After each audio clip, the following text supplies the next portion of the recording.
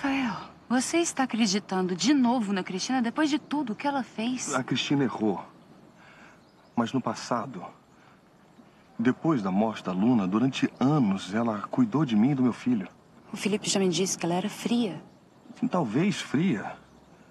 Mas cuidou da casa e me ajudou a educar o Felipe. Sem amor não há educação. Quer saber o que eu penso? A Cristina foi falsa esse tempo todo. Ela só queria conquistar você, Rafael. Foi falsa, como foi comigo. Ela fingiu ser minha amiga. Você não se lembra? E agora você vem me dizer que ela mudou. Eu não acredito. Não acredita que as pessoas possam mudar. Só as pessoas que realmente querem mudar. Ela não. Ela queria você, Rafael. Aquela casa. A vida da Luna.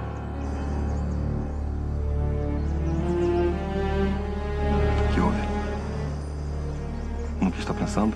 No quanto a Cristina sempre desejou a vida da Luna. Estou lembrando de um fato da minha vida passada. E as joias da família passaram de geração em geração. São lindas, vovó. Magníficas. São joias antigas, de valor inestimável. Do que se lembrou, Serena? Eu não sei ao certo. Passou uma imagem muito depressa pela minha cabeça. Eu senti um arrepio. Arrepio? Mas não foi nada. Diga a Rafael que veio falar comigo. A Cristina disse que me dará liberdade. Que precisa de um tempo para se refazer. Serena, eu agora estou com esperanças. E você acredita na Cristina? Mais uma vez eu pergunto, Rafael, você acredita na Cristina? Serena, você não era tão desconfiada quando veio para a cidade. Você tinha um coração aberto. Ah, Rafael. Eu sempre soube ser desconfiada quando era preciso. Quando eu andava na mata, eu desconfiava sim. Os meus olhos ficavam procurando para ver se não tinha cobra no chão. Os meus ouvidos ficavam sempre atentos. Qualquer ruído podia indicar que uma onça estava para dar o bote. Eu só não desconfiava das pessoas da cidade porque o povo que me criou é tão diferente. Serena, nós não estamos na mata. A cidade é pior do que uma selva. E a Cristina é mais feroz do que uma onça, capaz de estraçalhar a sua vítima. Ela já mostrou isso. A onça, quando fica quieta, é porque ela está observando a presa, esperando o momento certo para atacar. É isso que ele está fazendo agora, Rafael. Preparando o bote. Está ficando muito dura.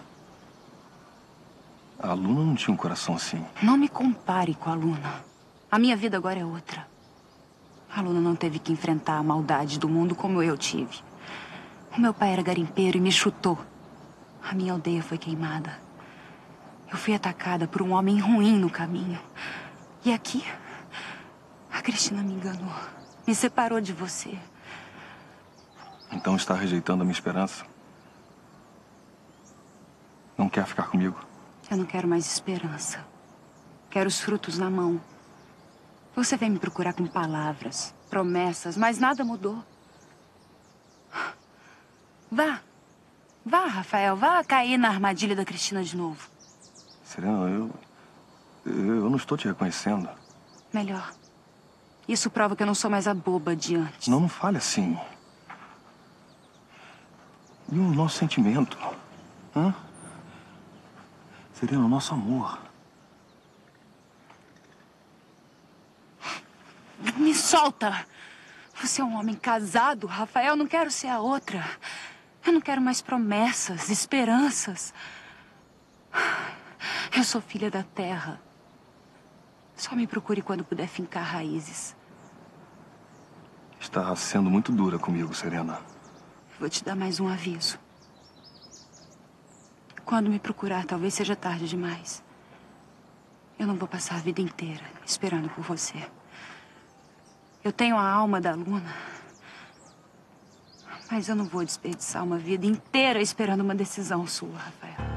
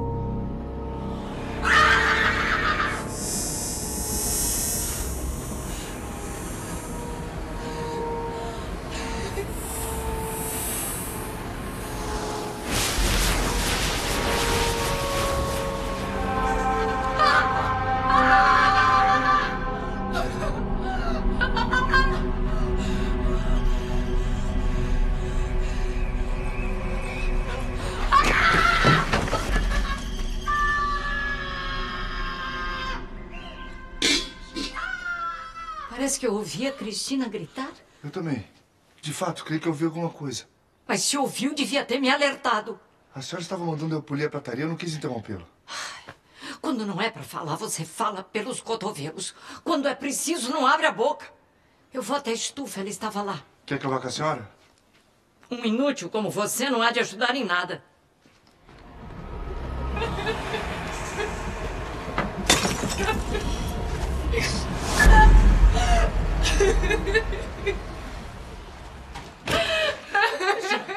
Cristina, o que acha? Não há nada ali. Por que gritou tanto? Ergue-se, ergue-se, Cristina. A rosa. O caule da rosa que eu contei sangrou.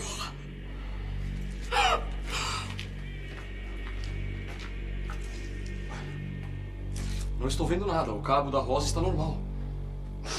Eu vi. Eu vi. Eu vi, eu tenho certeza,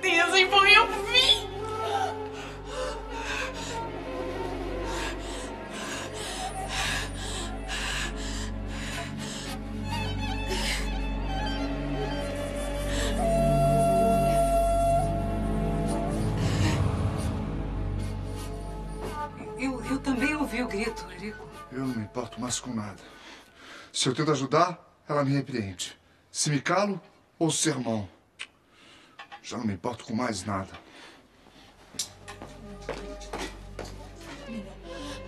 Foi horrível. Eu quero distância dessas rosas. Eu posso saber o que está acontecendo aqui? Vocês não têm vergonha? Abraçados aqui na estufa. A senhora não está entendendo, mamãe. Quando eu entrei, ela estava gritando de medo. A rosa gotejava sangue do caule da rosa que eu cortei. Vai se entregar a ilusões, ora. Venha comigo. Mamãe, Você não se aproveite, Ivan. Fique longe dela. Venha. Venha, Cristina.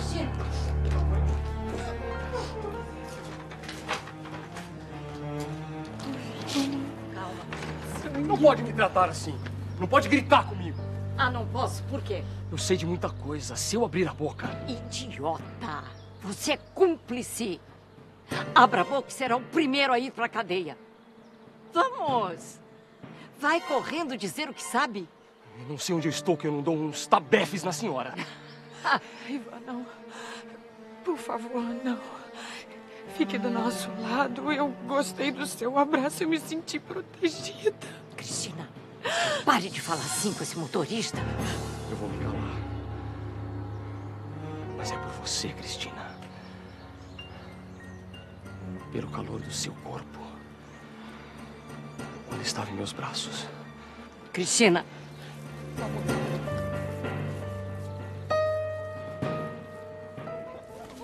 briga é essa? Tem vergonha! Tá bom, tá bom, tá bom. Pare! Pare! Pare! Pare! Pare! Fica aí! Fica aí! Vitório! Ele veio correndo atrás da Mirella. Mas eu sou o namorado oficial. Que namorado ela arrumou, hein? Um brutamontes? Volta com o Felipe, Mirella. E me dá bolinha de gude, pra eu não ficar olhando enquanto vocês namoram. Seu juiz, é melhor voltarmos para a audiência. Não, a audiência está suspensa. Só uma coisinha, minha senhora. Então a senhora permite que sua filha namore esse rapaz que dá bolinhas de gude pra eles continuarem namorando enquanto ele fecha os olhos, é? Bom, eu, eu, eu não sabia que ele fechava os olhos.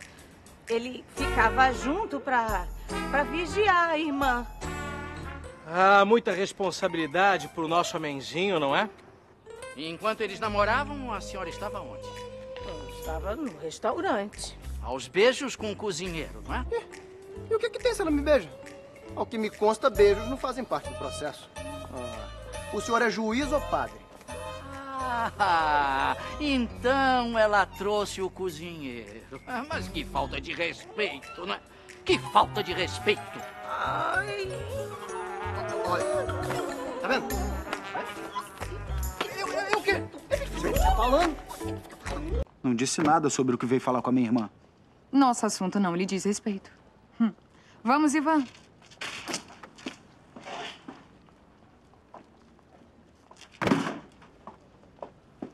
Cristina? Eu não sabia que ela estava aqui, Alexandre? Eu não sabia. A voz disse para eu vir para cá. Ah. Doutor Eduardo, como vai? Eu vim falar com você. Comigo? Ora, eu não posso imaginar que assunto nós temos para conversar. Não costuma falar coisa com coisa. Ouça muito bem. Ouvir o quê? Você já fez um escândalo no meu casamento. Vai querer fazer outro agora no meio da rua? Ora, Eduardo, francamente, como pode deixar esta doida andar entre pessoas sãs? Sangue. O sangue. O sangue que goteja do cabo da rosa.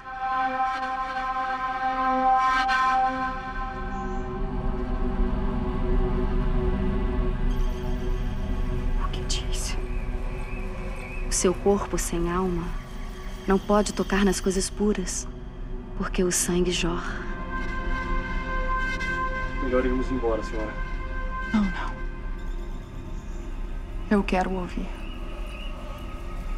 Que mais sabe sobre o sangue que gotejava do caule da rosa? A voz me diz. Eles viram. Se continuar mentindo, as ilusões vão se tornar verdade. Para entrar no mundo das ilusões, basta dar um passo. Depois, é como uma teia de aranha pegando a mosca. Você vai ficar presa na teia das ilusões. Eu, eu, eu não entendo. O que, que ela está dizendo? Deixa ela falar, Hélio. Eu também não entendo, embora faça um estranho sentido. Sua raiva, seu ódio, sua inveja trazem ele de volta. Ele vai te atormentar. Ele vai sugar as suas forças, porque ele foi embora com raiva de você. Ele vai voltar, sabe? Eu vejo. Vejo sim. Barbudo, com um olhar estranho. Ele está perto de você.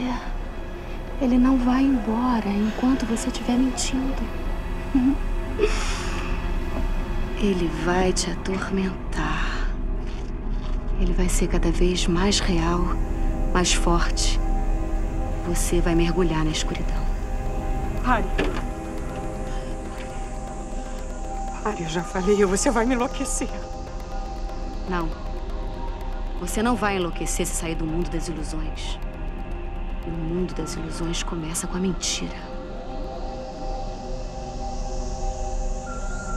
E você não diz a verdade, Cristina? A verdade sobre a sua gravidez?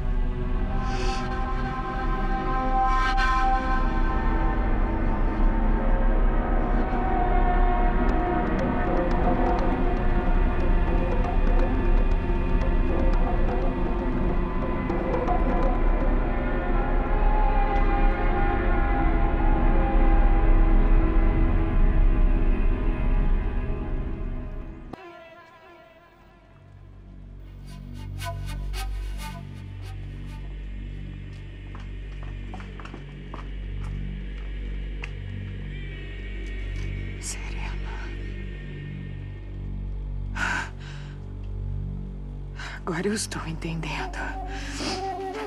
Cristina. O que faz aqui? Não se faça de inocente. Tentaram criar uma armadilha para mim, mas foi inútil. Eu não devo nada a ninguém. Sabe muito bem que deve, Cristina. O que, que está acontecendo? Ela veio falar com a Dalila, Serena. Esse médico tem muitas histórias para contarem. Mas nenhuma delas é verdadeira. Quer dizer que vocês armaram um confronto meu com a Serena. Ai, vocês são lamentáveis. Espere, Cristina. Agora você vai ter que me ouvir.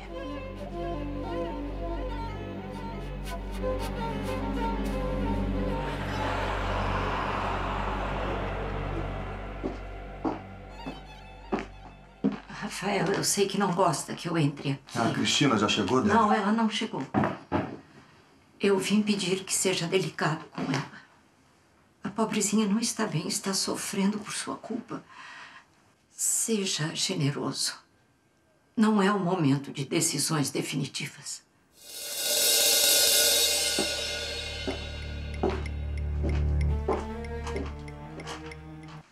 Não me deixe sozinha. Nada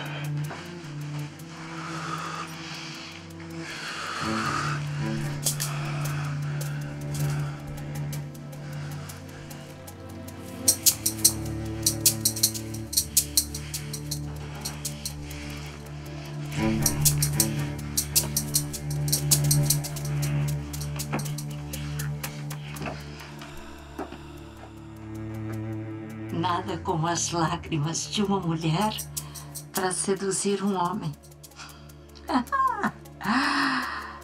Ai, finalmente. Eu vou passar no consultório. Enquanto isso, ela vai se arrumar. Vai comer num restaurante chique hoje, hein? Ai, é tão bom sair com meu marido. Eu volto ao anoitecer. Você ficará bem, não é? Melhor do que nunca.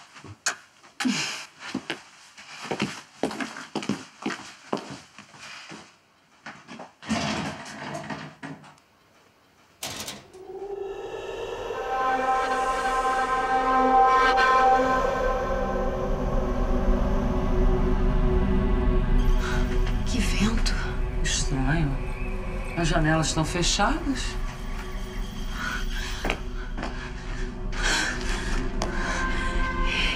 Ele tá vindo.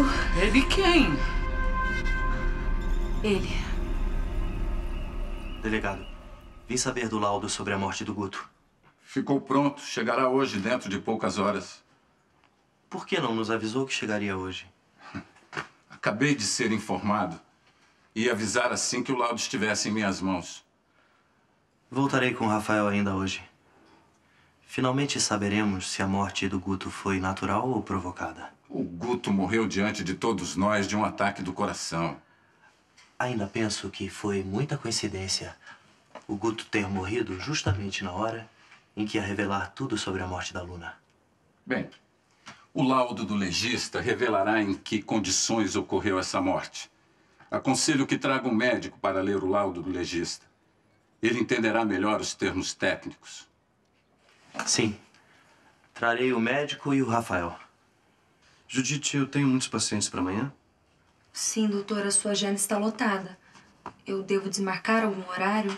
Não, mantenho todas as consultas. Eu tenho tido problemas, mas eu não posso abandonar os meus pacientes. E a sua esposa, como vai?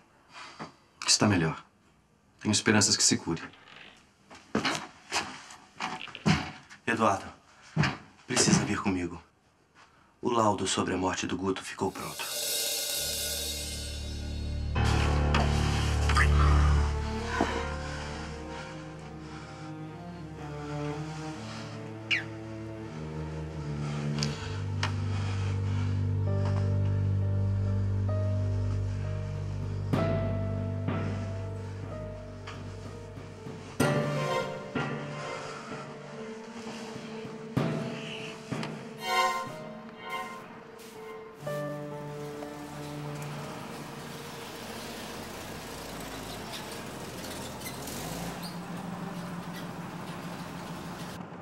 Eduardo.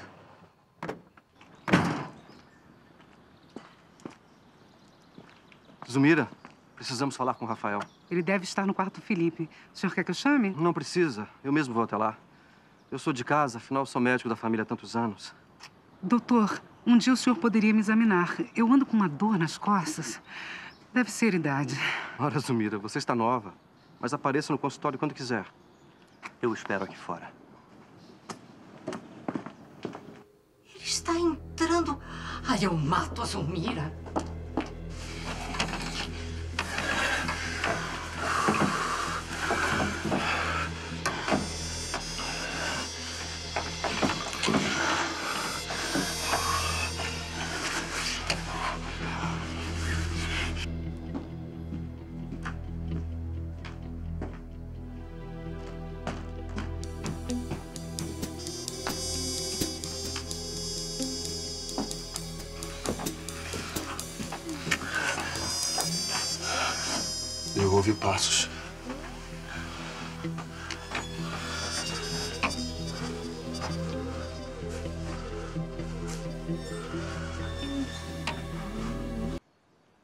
Disse que tinha um assunto importante para falar comigo, mas está demorando.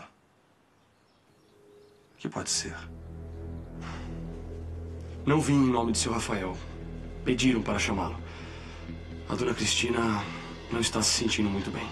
O que há com ela? Não sei. Sou só motorista. A mãe dela pediu que vá diretamente ao quarto dela. Eu, eu vou examinar a Cristina. Depois eu falo com o Rafael.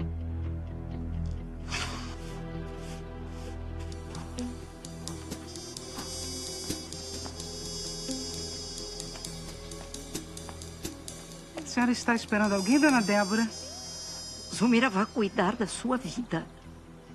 Perdão, eu só quis ajudar. A senhora parece tão preocupada. É você que deve se preocupar. Já varreu aquele canto? Já. Está um espelho, não está? Você deixou uma folha. Deve ter acabado de cair. Zumira, se você está varrendo e caiu uma folha, varra de novo. Sim, senhora.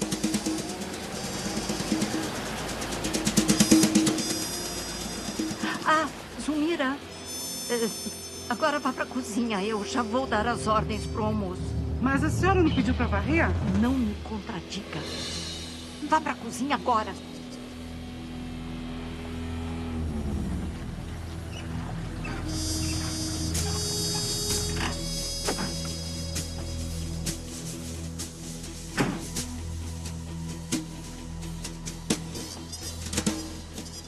Ele saiu atrás de mim no carro dele. Está chegando. Fique de olho. Quando ele entrar, vá diretamente até a estufa e chame o Rafael. E fale como eu já expliquei.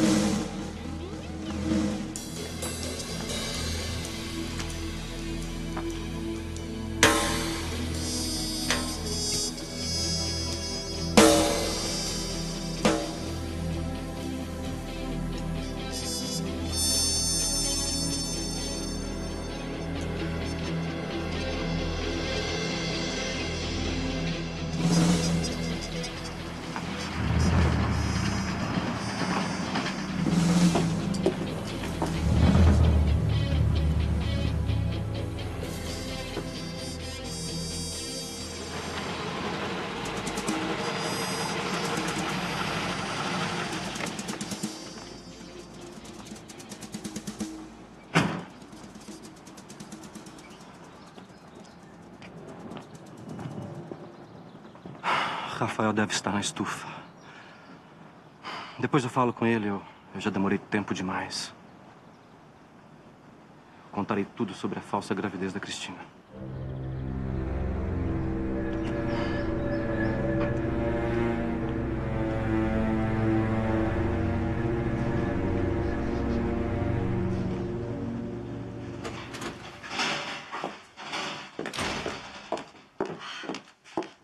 Que bom que chegou.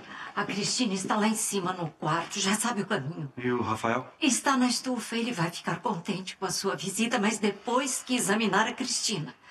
Por favor.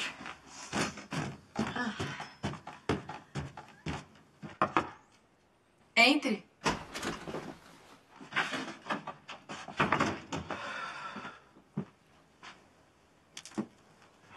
Cristina? Pensei que estivesse de cama. Se parece bem. Está tudo arrumado?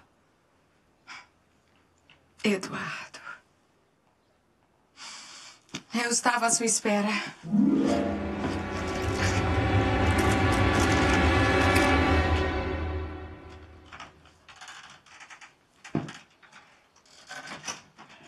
Seu Rafael. Sim? Perdoe-me. O que que há? Acho que está acontecendo algo estranho na casa. Ouvi gritos. Parece que foi a dona Cristina.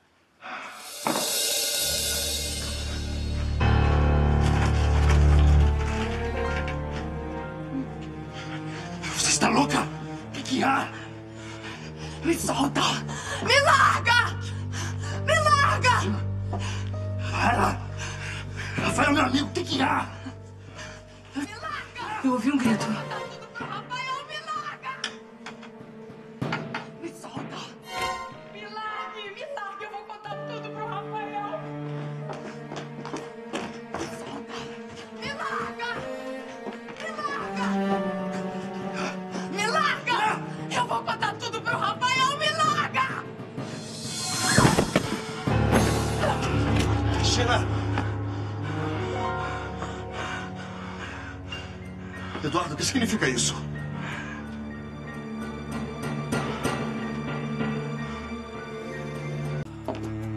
Fale, Zulmira, diga somente a verdade. Eu não estive o tempo todo na cozinha com vocês dando ordem para o jantar? Eu vi a senhora lá fora, enquanto varri o pátio. Sim, claro. A senhora até brigou comigo por causa de uma folha que caiu no chão. Zulmira, não precisa entrar em detalhes. Eu só quero saber se a Débora estava na cozinha quando Eduardo chegou. Eu não ouvi o doutor Eduardo chegar. Mas eu ouvi quando o doutor chegou. É. A dona Débora estava na cozinha, dando ordens para nós.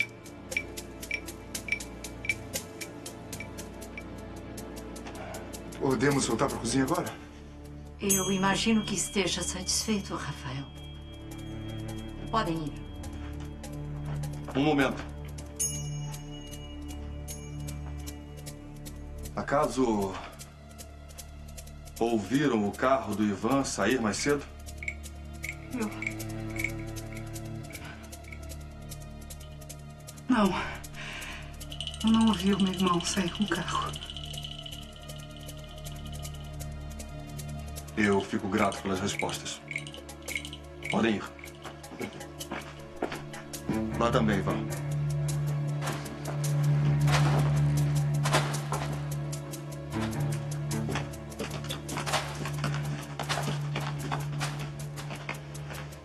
Por sua causa, Ivan. Eu vi que você saiu com o carro mais cedo. Fiquei com medo que perdesse o emprego. Agradeço, Zumira. Ia ficar muito mal se dissesse que eu saí. Ainda bem que posso contar com você. Confusão de patrão. Empregado não deve se meter. Ivan, você fez alguma coisa errada. Cuidado. Cuidado com o caminho que está tomando, meu irmão. Eu só obedeci ordens. O Eurico tem razão. Não devemos nos intrometer no assunto deles. Também não quero prejudicar a Cristina. A dona Cristina. Ela eu não prejudico.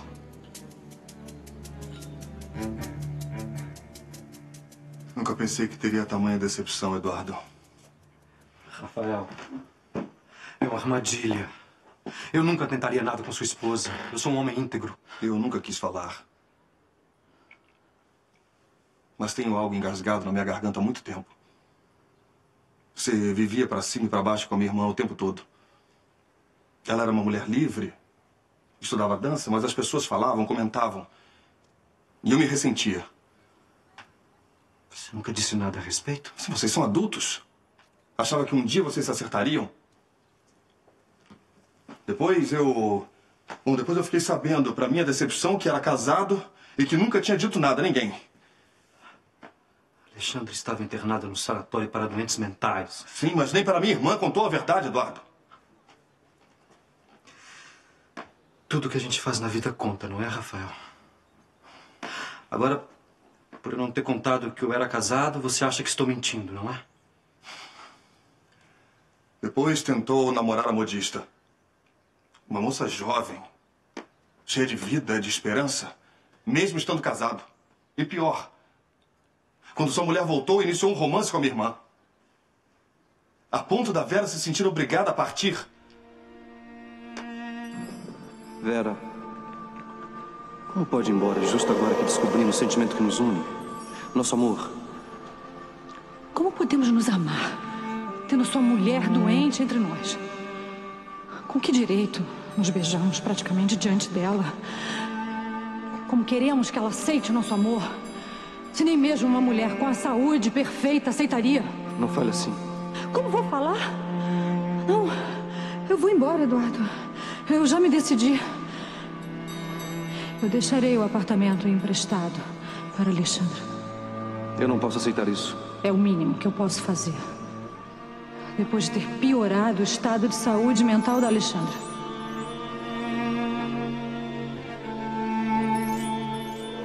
Não queria que ela partisse.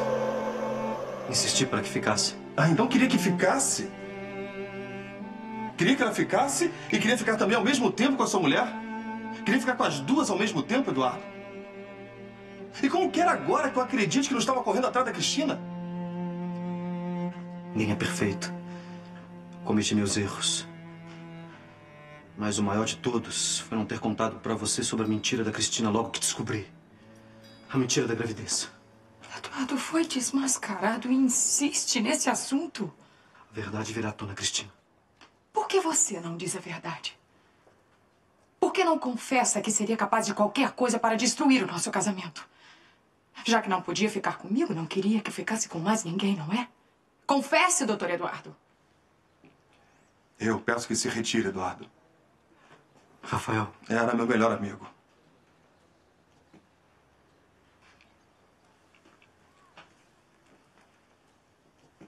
Não imagino o tamanho da minha decepção. Por favor. Vá embora da minha casa. E não volte nunca mais.